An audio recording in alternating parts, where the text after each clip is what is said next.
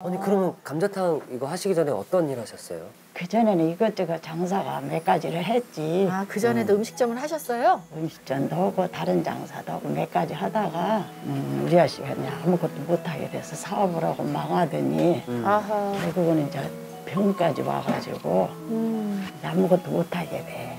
그래서 아이들은 다섯이나 되지 먹고는 살아야 아이들 가르치잖아. 음.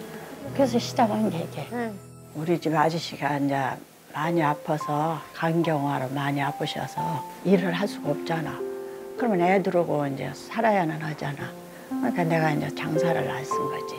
그럼 그 새벽 장사를 나갈 때 우리 막내 아들이 세 살 먹었어. 그 어린 거를 놔두고 이제 애들이 다 어리잖아.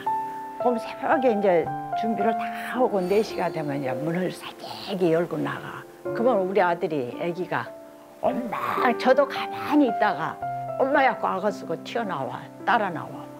그러면 애들이 다 자다가.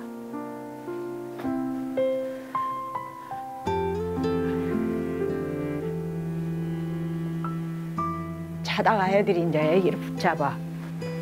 그거 생각하니까 마음이 아프네